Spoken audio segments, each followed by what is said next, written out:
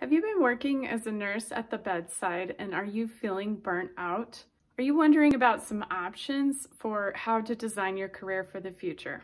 Well, if so, stick around. I have some tips for you. I'm Dr. Lisa Chappell. I have a doctor of nursing practice. I'm an associate professor and studying to have my board certification as a health and wellness nurse coach. I want to thank you for your service, especially if you've been working during this last year during the pandemic at the front lines. You are truly a hero, and the World Health Organization and the American Nurses Association have partnered to extend the Year of the Nurse, which was meant to be in the year 2020. It's extended to include the year 2021 as well. The reason for that is because nurses have been working so hard during the pandemic and really have been at the front lines, putting yourselves at risk. And so I thank you so much for your service in that capacity. It happened to me in my career, and it's natural that after you've been caring for clients, residents, patients for some time, that you may start to experience some burnout or compassion fatigue, which is where you suffer when you're caring for people who are suffering. There's some things that you can do to prepare for the future. And there's basically three different routes within nursing that you'll want to think about in terms of what do you want to do. One of those options is to remain a clinician and stay at the bedside or perhaps you're working in a different capacity.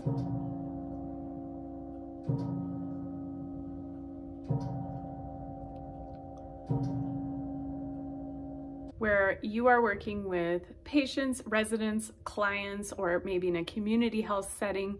Either way, your work is directly related to care for the populations that you're caring for, and you're going to remain a clinician. Or you may consider a leadership position, which is where you may oversee services, programs, or people. And then the third option is to go into some kind of education capacity. So no matter which route you're looking to go into, I have some options for you. First of all, you're going to want to ask yourself, where do you see yourself in 10 years in the profession? Think about, do you see yourself continuing in a clinical role? Do you see yourself as a leader in the profession? Or do you see yourself as an educator. Taking that a step further is maybe you want to become involved in some research. And I'll talk about how you can do that with any of the routes that you choose. If you've Googled how to get a degree in nursing, there are a lot of options that come up and you may feel pretty overwhelmed and confused by just taking a look at what comes up because there are many, many different routes and options along your path in designing your career as a nurse. Please comment below. I want to hear where do you see yourself in the next 10 years in your nursing career? Do you want to go back to school? And if you do, now is the time to plan. There are so many different options if you decide that you want to go back to school as a nurse. A lot of the options are designed where you continue working. If you are feeling burnout and you want to pursue some options in academia, perhaps you are an associate degree nurse and you're looking to get your bachelor's degree. There are many different options for you if you're looking to pursue a bachelor's, and you can do RN to BSN programs. Why would you want to get your bachelor's degree in nursing?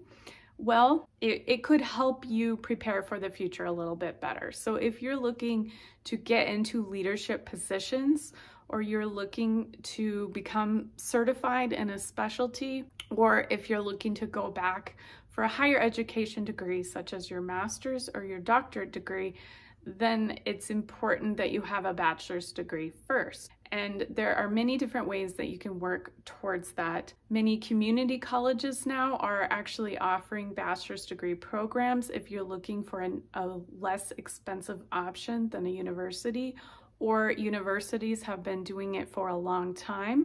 And so if you want to pursue your bachelor's degree, you can take programs 100% online. The beauty of that is that you can really pick any program. They're offered across the country and take a look at the philosophy that that School of Nursing has. If you are looking to pursue even beyond that into a master's degree or even a doctoral degree, there are also many different options. Take a look. I know it's kind of overwhelming in terms of the options that are available. Some different programs maybe that are offered in your area, or take a look at a more broad spectrum where these programs might be offered out of state as well because there's some great options and they are online for the most part once you have that registered nurse license then it's easier for you to then pursue online programs so if you're looking to stay a clinician, then you may be interested in a master's program where you can become a nurse practitioner. And it still is a master's level. There's a push to get the nurse practitioner to a doctoral level, and there's various reasons for that, which I'm not gonna go into in this video.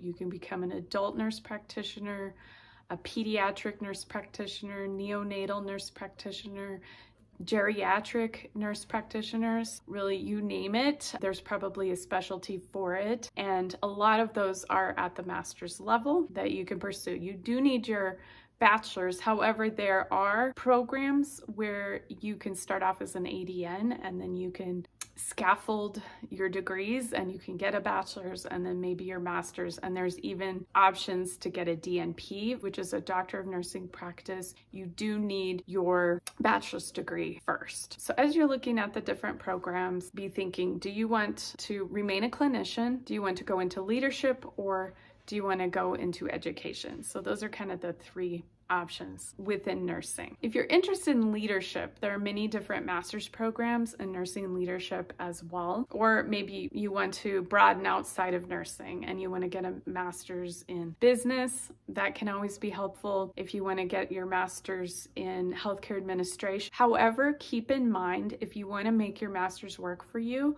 and you see yourself in the future pursuing a doctoral degree in nursing, you will need your master's degree in nursing. That's a consideration you may want to keep in mind as you're looking at higher education and higher degrees. At the master's level, you can get a master's in nursing leadership. You can also get a master's in nursing education. So it just depends on what area you want to go into with nursing. And just because you end up getting your master's in one particular area, say you chose education and then you decide you'd rather go into leadership, it doesn't limit you. You can still do that with a master's in nursing. So it's a helpful degree to have. You can do more with that master's degree in education and in leadership, as well as a clinician. In terms of remaining a clinician, you can also become a clinical nurse specialist. It's a master's level degree that really considers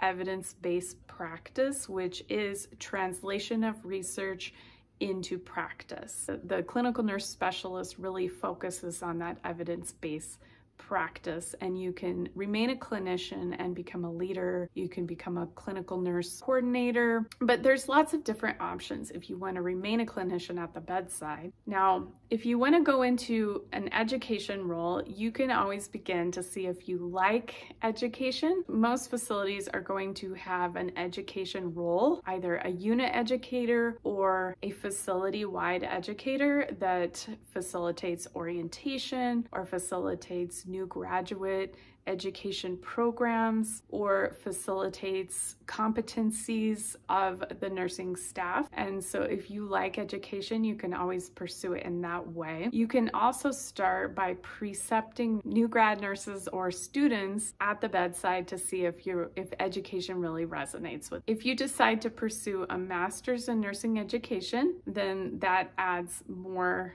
layers of what you can do as a nurse educator. Also opens up options for you outside of a clinical arena. So maybe you want to do education about a product or service that's healthcare related. That opens up options for you as a nurse. More and more companies are seeking nurses as that education role because you have the experience and you have the background necessary to be able to educate in healthcare. If you're looking to take your degree even further at the doctoral level, you can go into education, executive leadership roles, or administrator roles, and you can also go into research roles. And I don't think that you're limited in terms of which doctorate that you decide to pursue. It's really based on your preferences. If you're really interested in research and generating new knowledge,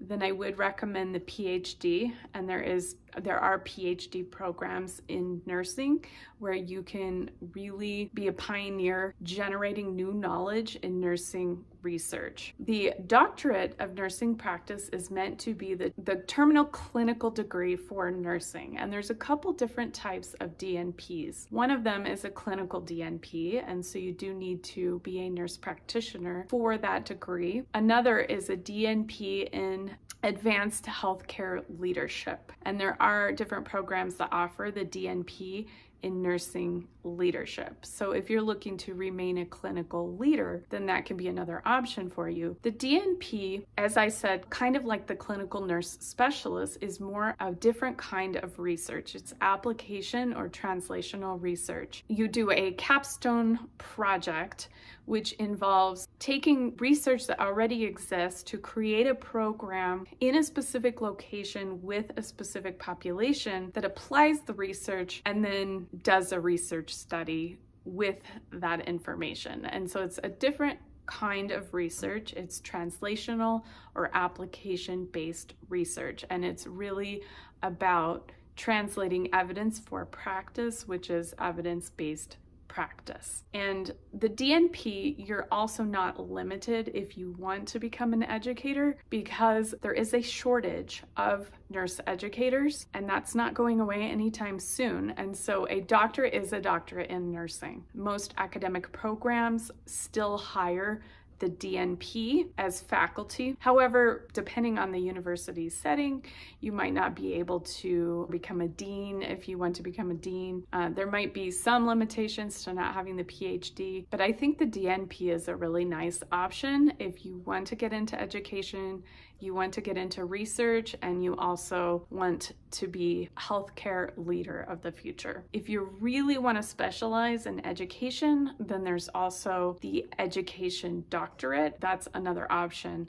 if you decide that you want to really focus your career on education. And so there are a lot of different options and that's both a pro and a con that it can be overwhelming and really confusing, but it also gives you so many different ways to get to your destination and to design your own career in nursing. And so it really allows you to design your own education based off the needs of your own lifestyle. And so you can take a course at a time if you need to, to always make progress forward. You can enroll in a more full time program and cut back to part time work if you need to. The beauty of being a nurse is that you are always going to be in demand and you are going to have a job it's great that you're always going to have a relatively stable, relatively good paying backup job to help get you through school. But if you're feeling burnout and you need some different options,